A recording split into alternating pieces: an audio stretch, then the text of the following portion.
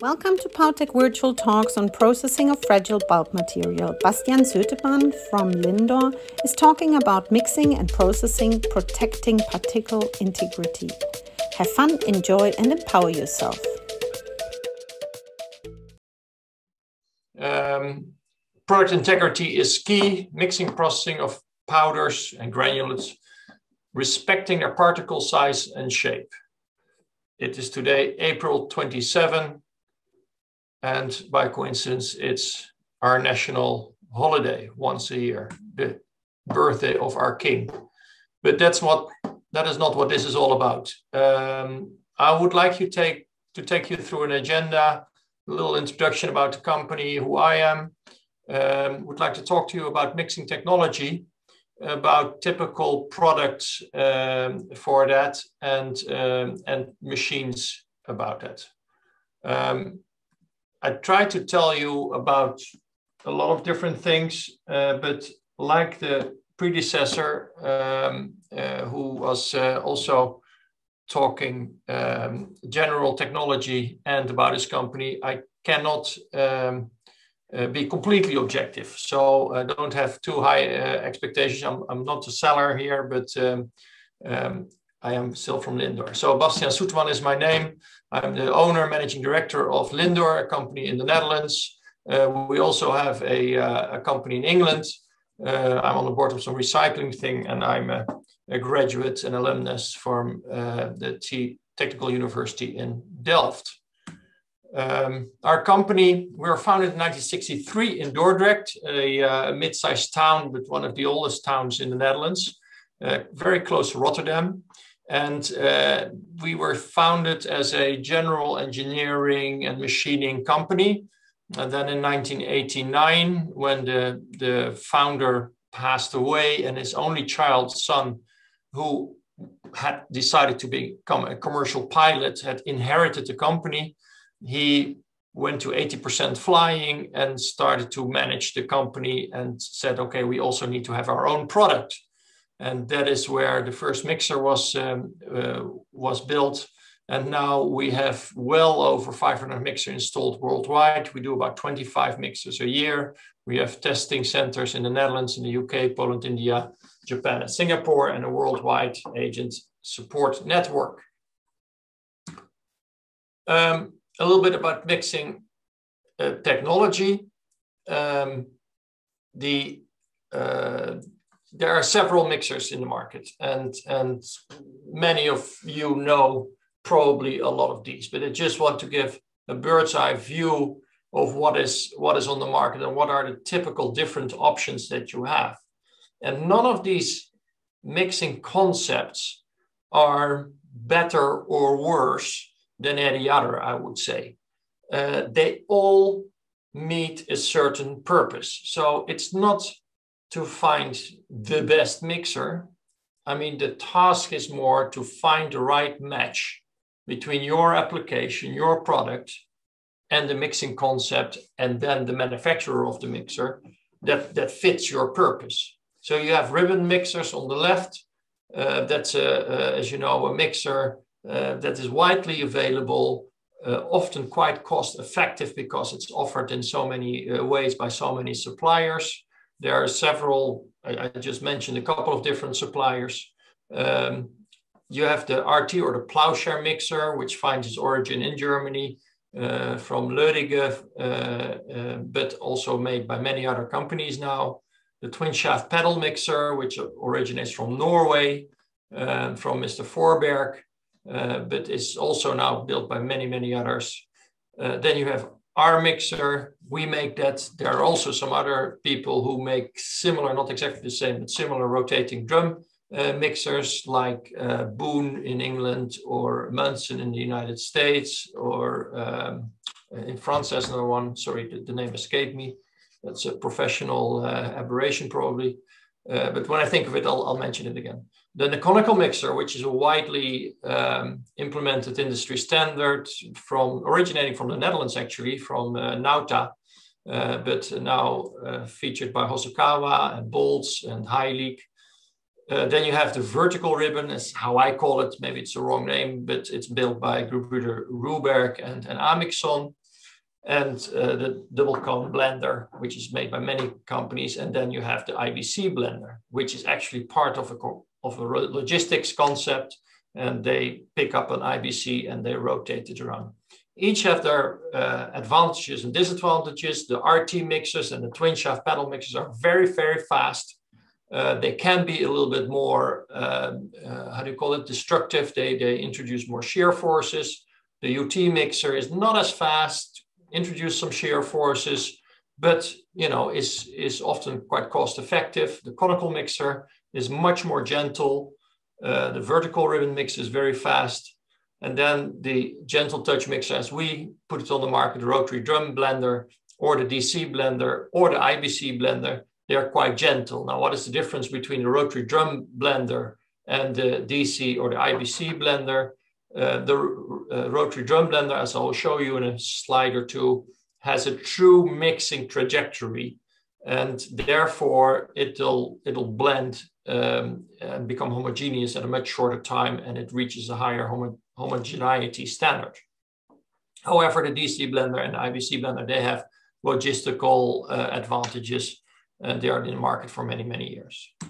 Going to the next one, a little bit more of technology. What is behind these different mixing concepts? You can divide the um, yeah the, the mixing technology in two, and I make like three different uh, parts. It's convection mixing and it's diffusion mixing. Convection mixing is all about having basically having a shaft and a tool and and driving the tool through the matrix of particles through the powder that is. And then uh, in that, so you can think of a ribbon or of a plowshare or a paddle or a spiral or, or many, many different uh, uh, possibilities. But then you can have a closer look and they say, okay, you have some that you would call a force flow. So they don't go as fast. They just push part of the matrix away for the other matrix particles to, to fill in the void. And in that way, you create a movement of particles. And if you do that long enough, you, you create a, a level of homogeneity. Or you can have a special shape form and, um, um, and, and kind of whip it through the particle and fluidize the matrix. And in that way, basically, the particles are going to fly. And, and in that way, they, they kind of go through each other and they create a, uh, a level of homogeneity. Uh, these are typically the ones that are quicker. So you can think of the plowshare mixer, call it the Lödiges and so on, and the twin shaft pedal uh, mixers like the Forberg or the Dinnissen, uh, who makes those. They're very, very quick and they're fluidized really. And then you have diffusion mixing, and diffusion mixing is actually totally different altogether. Because here you don't have a shaft with a tool that's driving through the powder matrix, actually what you have is you have an apparatus where the powder or the particles are brought to a stage where actually gravity is taking over and gravity drives the individual particles to start moving. And the big difference between these two is that with a shaft and a tool, it, you, you uh, produce a point mechanical force. With a gravity, it's really a field force. So it's really that every particle gets the same level of pull or of uh, mechanical force, uh, if you will, uh, acceleration. And therefore, you have a complete different, different mechanics, if you will. So the, the powder is actually sliding down or falling down or whatever way it is, depending on the design of the machine uh, and every particle has, has the same or similar uh, acceleration. And if you guide that properly, you can have a true mixing trajectory. So uh, this is expressed these different types and the different designs of machines. You can differentiate them in the, in the level of shear. Uh, you have high shear uh, machines and low shear machines. And high shear machines they um, uh, yeah they, they create create more more shear. So if you have very fragile particles or heat sensitive particles, then um, you uh, would tend to have more problems if, if if you don't want them to break in the high shear, and you should go more to low shear. our type of mixer and others as well, but our type is on the very, very low end of uh, low shear. So we are the lowest shear, I would say, in the market. And then we talk about about one watt per kilo product, whereas in the higher shear, you talk about 10 or, or way more than, uh, than that. Uh, and our motto is actually shear uh, can be good for your product, but if not necessary, keep it as low as, as possible. How does uh, our rotary drum mixer, how does that work? Uh, you have a, a, horizontal drum, it rotates slowly, the product is fed in and is lifted up by these vanes, by these scoops, and brought to a position where actually the, um, uh, the, the, the, the, particles start to shift down um, through uh, gravity, and then it's flowing back, and that is how you create a trajectory. In a different, uh, next picture, a little bit bigger, this is a 1500 liter mixer with two rows of uh, scoops. It's coming in, it's going up, it's sliding out. You get an uh, accumulation at the back end where the outlet is. And therefore you get a backflow. And a backflow that helps in the quick movement of the product and the, actually quick mixing of the product. And at the end, there's a circular disc on the outlet uh, that's by pneumatics that's opened. And actually now it the mix has nearly become like a pump. I mean, the, the, the, the, the scoops are actually, the, the powder is sliding out uh, through gravity and it's sliding into the outlet. And therefore, when you rotate it, empty, it's emptying 99.97%. It's, it's really getting empty. Far less than a handful is left in the mixer. So this is a, uh, a little bit of a simulation to show you not only by talking, but also by images how this works. So you see the different materials flowing into the rotating mixer. You also see an injection nozzle, by the way, to inject liquids if that's needed. 30% of our machines are equipped with that. And then when the outlet is opened, you see the powder flowing out. And it's just a very small, small uh, short illustration. Uh, but this is the essence how this uh, how this works and and how you can actually a powder or granulate how you can mix that to homogeneity in a relatively short time and in the meantime um, with all respect to, uh, to the presentation before Glatt, which goes way further in this technology, but we also spray in liquids either to give an aroma or to do something to the particles to give it a color, um, and even to, uh, to achieve a degree of uh, granulation of agglomeration. Um, I, I, wouldn't say it is as controlled as with, uh, with Glatt, um, but um, customers do, do this in our machine where they combine mixing and some agglomeration. Oh, uh, another way is I will, in a small one, you can oh, fast forward a bit, but this is in reality how it works. It's also a demonstration way to do it. So the part, the product is actually entered.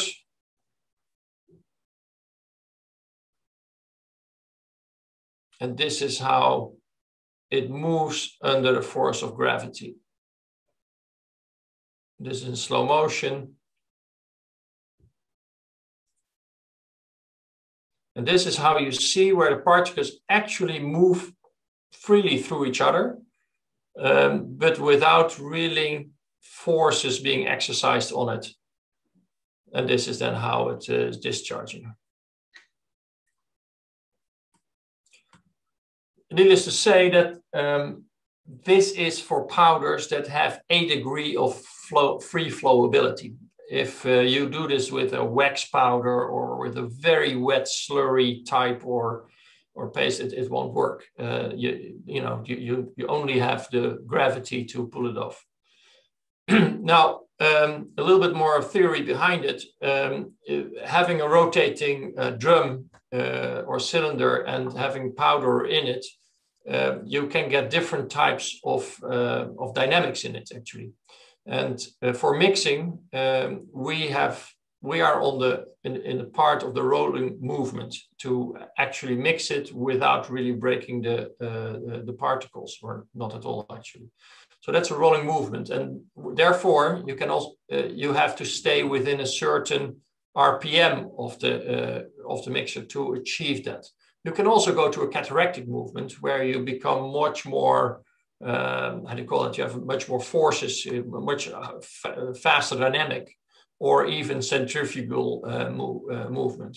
And in kind of reviewing that and considering that, you have a formula and you should take care of your design and your uh, RPMs uh, to, to meet that standard. In uh, so doing testing with, with this, we have our own test center, we test with customers and uh, for, uh, for, ourselves as well. This is what we did with ourselves, uh, where we had a roller dried rice powder. So like a rice porridge that's then dried, made into a powder. And we infused that with um, with kitchen salt, with sodium uh, chlorine, and um, uh, so a certain percentage. We mixed it, and we mixed it for the seconds that's on the on the x-axis, on the bottom axis. And what you can see, taking nine samples at each instance, and then actually measuring the conductivity with um, uh, demineralized water in a controlled way. Uh, we did it with an outside uh, party um, after 90 seconds, you see a wide spread between the samples of um, uh, conductivity, meaning different levels of sodium chlorine in it. So no homogeneity to speak of. After 120 seconds, a little bit better. After 150 seconds, again better. And then suddenly after 180 seconds, it really gets to a very homogeneous level where you can talk, I think it was less than 3% covariance between, uh, between the samples. So that is how one of the ways to measure um, homogeneity. Every, every application, every user has their own ways, but this is one of them. And it was for us quite practical. Uh, this is another uh, one where you um, uh, look at the homogeneity after a certain amount of mixing time. It was a different test with, men, with a tracer element. And there also the interesting part here is since our way of discharge uh, and the mixer keeps on moving under uh, discharge and the product actually keeps on mixing. Is that on discharge you don't change anything in the uh, in homogeneity. And these are tests that we've done with um, uh, where you have different sizes. So you have bulk materials less than 30 microns and a minor component with higher than 500 microns and where you can see, okay, what does that do to your uh, homogeneity uh, in mixing time? So you again the three minutes. So most materials are mixed between two, three minutes and five, six minutes. And, um, and you see that over time, actually, it, it doesn't uh, it, it doesn't demix or, or segregate really. Uh, this is a side by side where we use the conical or Nauta mixer and the, uh, and the rotary drum uh, blender.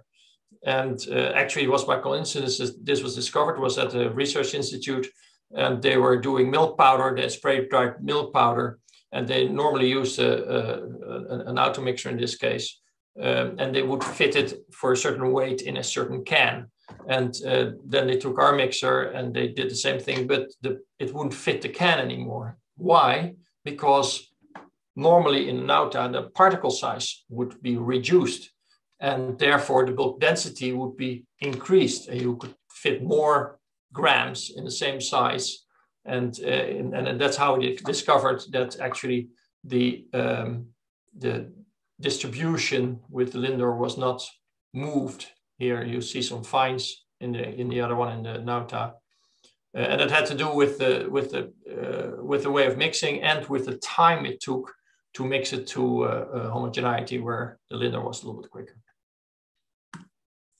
This is the discharge graph. Um, the, we have kind of a, a, specific way of discharging. Instead of dropping it out of a mixer, we rotate it out of a mixer.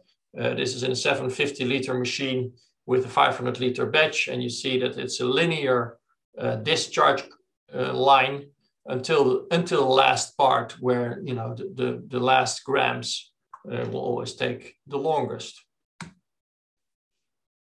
because of the uh, the way it works, um, not much uh, energy is uh, is required. And I just took you because you only use the power of the motor to bring the powder up to a certain level where gravity is taking over. So just as an example, if you have a powder of 500 grams per liter and you have a thousand liter batch, that's a 500 kilo batch, then actually the consumption is only 800 watts, so less than a, than a kilowatt. Now, some things about this, some key characteristics. So if you shouldn't be in the uh, mixing business if you cannot achieve homogeneity. So that's their key characteristics is that we don't break it or there's, there's negligent breakage and or heat increase. Um, short mixing times, very batch size. So you can go from 10% to the batch to 100%. You can easily switch, um, easy to clean, etc. Then besides just mixing, we also do other things like drying, heating, cooling, um, and therefore, uh, this is it's the same mixer, but we now equipped it with a jacket where you can introduce steam, and the, the, the scoops are also double jacketed. So you can introduce about eight bar, up to eight bars of steam, creating an environment of 170 degrees with a great um, uh, thermal transition, uh, heat transition rate. Um, you can also use it for water. This is our test machine and uh, uh, we can also do air heating with it. Uh, but it's the same way where you protect the integrity of the particle, and in the meantime, you can actually increase the temperature and you can you can dry or or or coat or impregnate. To that extent, we further developed uh, a few years ago another concept we call the capsule. It's shown here on, at the time when we were still able to uh, go to the exhibitions like Powtech. Um, uh, and this is actually how it works. Uh, so you introduce it on the left side, the powder, uh, into the rotating machine. It's the same concept, but now what you do is with the double jacket, you introduce a hot environment or hot, actually it's 60, 70, 80 degrees maybe, because when you introduce a vacuum, you can go up to 25 millibar uh, absolute, um, you really reduce the uh, boiling point of water or any other volatiles. So at a very much lower temperature, you can actually dry your powders or you can dry your, your, your granulate. And that has the advantage that for granulates or powders that are heat sensitive, you can use a lower temperature or you can do it in much less time. So you use less processing time or uh, less time that your particles are exposed to, to movements. Typical product. Hello? Have the time in mind, please. Yes, nearly done. So typical products, food, cereals, etc. Uh, deter for chemicals, detergents, polymers, so the wide variety of food, but every time in mind what is important. It's particle integrity, the flowability of the products, the friction, the heat, cross-contamination is an operational thing that's always a concern static static charge. So the, the, the, more force you exercise, the higher the static charge, which can have an effect in the packaging uh, uh, later on. Um, uh, dust, you want to go from flexible small batches to large batches. Cleaning is very important. Allergen risk control is an operational reality that is more and more uh, prevalent and every company wants to be recipe different. Some examples of uh, products, instant products, in infant formula, detergents. I'll go very quickly through this. Battery powders, tea is a is, is a big um, application where um, which is fragile. Battery powder, same thing. It's not so fragile, but it's not very good to really crush that a lot breakfast cereals, uh, technical ceramics like catalysts. A lot of the catalysts are made in, in, in our types of machines, snacks, etc. We have our own test center. We can talk for ages. In the end, you need to test it. You need to try it, and you need to go to a test center and uh, and, and figure out how uh, any mixing, because we can do side by side different mixing technologies, plowshare, etc., with uh, rotary drum and side by side and see what is best for your application. Just a very small video how we do that nowadays because nowadays we cannot do tests live with people, so we do it remotely. So we do the test and we then have on, online and live streaming of the test with the customers who are sitting in their offices somewhere in the world or probably at their homes even if they are in lockdown. And actually this works pretty well. And um, in the end, we generate a report and we go further with the development of the customers. Thank you. This is our smallest machine, largest machine, everything in between, some developments. When you want to liquid injection. I'll just quickly go through using cleaning in place and some of the installation as an example of the rotary drum mixers. Key points to take away, product integrity is key. Every application deserves its own best mixer setup. So it's not only about our types of mixers, it's about the best match between the mixing concept, the technology, and your application. Test before you buy, optimize after you install, use gravity if possible. It's equal for each particle, it's the same, and it's for free. Stay with low shear as long as possible, unless you really need high shear because it has a lot of side effects. And tune your operation for future needs, smaller, flexible, cleaner, and use pure processing, no side effects. This is our company when we celebrate a big installation, big machine. Thank you very much.